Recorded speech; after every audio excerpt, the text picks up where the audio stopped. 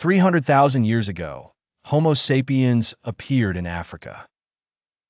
The same brain capacity and potential as modern humans. For 250,000 years, they remained frozen in time. Unchanging crude stone tools mark their lives.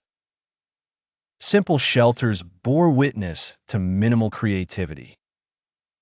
A mystery in human evolution, the long silence.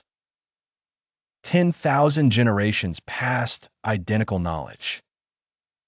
Stone axes barely evolved over millennia. Brains capable of Shakespeare created nothing. Potential for pyramids resulted only in basic structures. Atomic mines split only rocks, not atoms.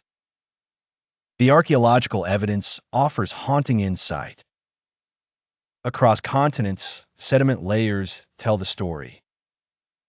Acheulean hand axes held consistency through centuries. No art or symbolic culture leaves evidence. Homo sapiens mirrored modern humans. Language, abstract thought, complex planning potential.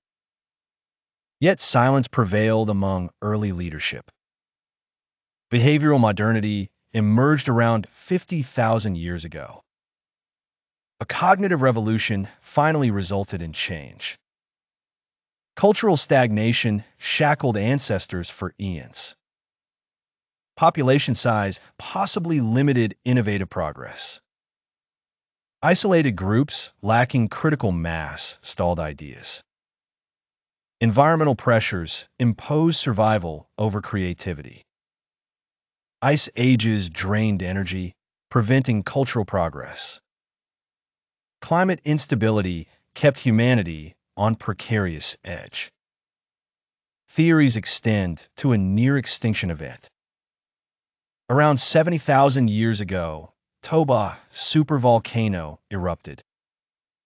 Volcanic winter presented a severe survival challenge. Global temperatures plummeted amidst widespread devastation. Genetic evidence suggests population collapse.